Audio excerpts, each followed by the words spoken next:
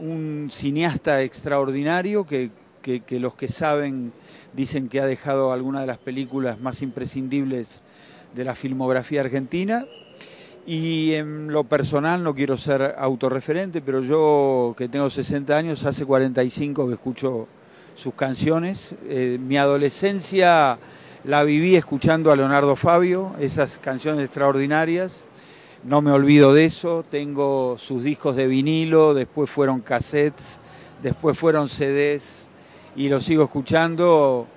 Y también algo que, no es moneda corriente, la trayectoria de una persona que, está, no sé, cuatro o cinco décadas como un hombre este, de conocimiento público que tiene una trayectoria intachable, siempre al lado de las causas nacionales, populares. Ese no fue uno de nuestros grandes, uno de nuestros grandes artistas, uno de los artistas más generosos que tuvo, que tuvo el país, y cuando digo generoso lo digo porque es es ámbito de los artistas comprender, entender la realidad y después devolvernosla en imágenes y en sentimientos. No casualmente su película sobre la historia del peronismo se llamó Sinfonía de un sentimiento. Leonardo era un tipo que funcionaba a fuerza de sentimientos y que nos deja como legado este, esta, esta construcción del cine nacional y popular en todo lo que implican estas dos palabras nacional porque nos representaba, porque era puramente argentino y popular porque llegaba a los corazones de todos nosotros y porque nos describía a todos nosotros. Vengo a despedir al maestro, un hombre increíble, un, verdadero genio de la cinematografía, pero por sobre todas las cosas un gran trabajador de la cultura. Creo que fue el mejor embajador argentino de la cultura de los últimos 50 años, sin lugar a dudas.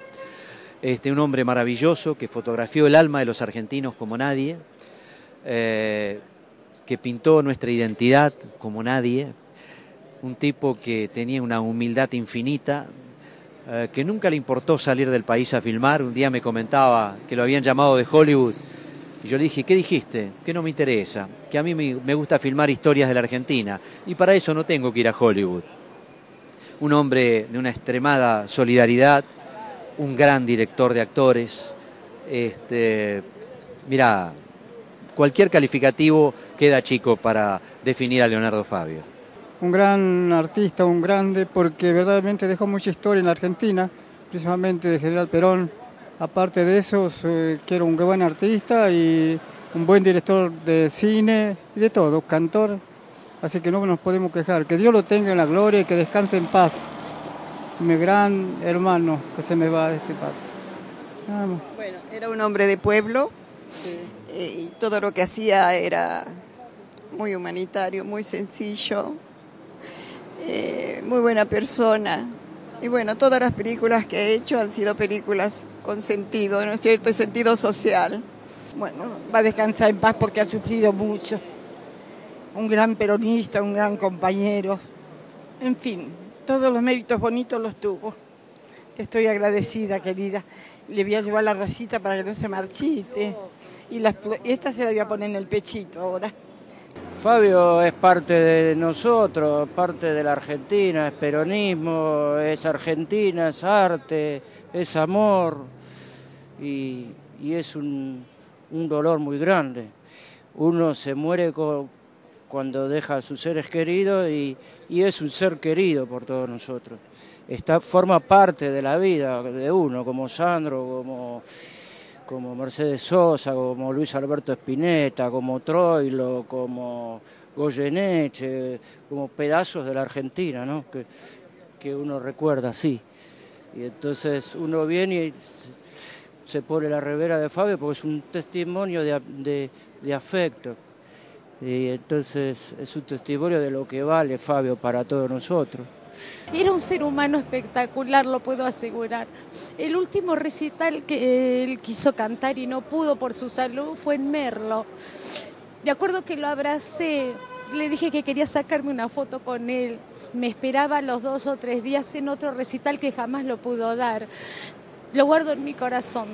La unidad básica queda en el barrio más fuerte de Gleu se llama compañero Leonardo Fabio y hace más o menos seis años este, se me ocurrió y fui al consejo del partido y lo propuse.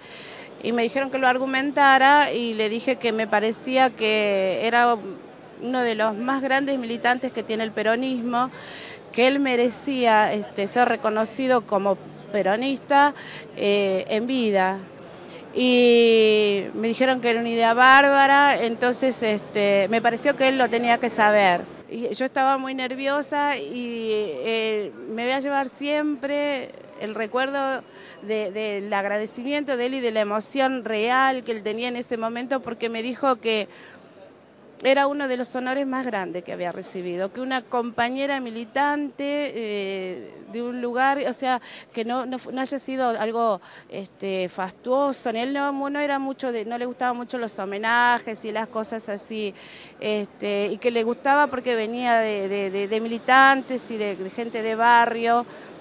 La verdad que no, yo no podía dejar de estar acá.